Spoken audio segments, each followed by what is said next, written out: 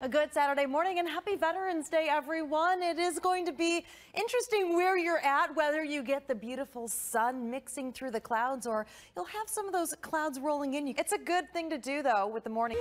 All right. 60s. We love that. Thanks so much for watching.